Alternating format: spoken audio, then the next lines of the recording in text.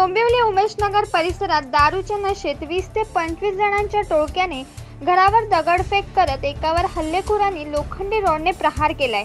ही संपूर्ण घटना सीसीटीव्हीत कैद झाले. संजय म्हात्रे असे हल्ल्यात जखमी झालेल्या तरुणाचे नाव आहे. मिळालेल्या माहितीनुसार उमेशनगर परिसरात पाच ते सहा जण दारूच्या नशेत फिरत होते.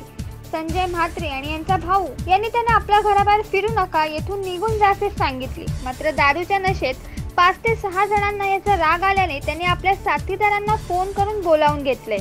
काही वेळाने पंधरा ते वीस जण तोंडावर रुमाल बांधून मोटरसायकलवरून आले.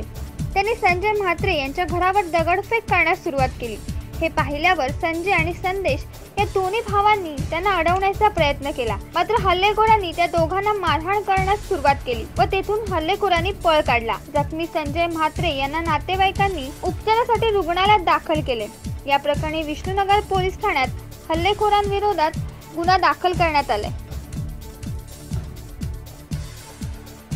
मी माझ्या घराच्या इथे उभा होतो. तेवढ्यात मुलं तिथे आली आणि माझ्या घरावर दगडफेक करण्यास सुरुवात केली.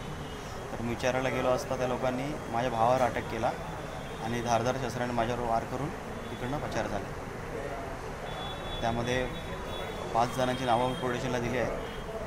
आणि इतर दोन जणांची नावं पोलिसांना माहिती नाही म्हणून दिली नाही. प्रतिनिधी शरद शहाणेसह आधार न्यूज मुंबई डेस्क.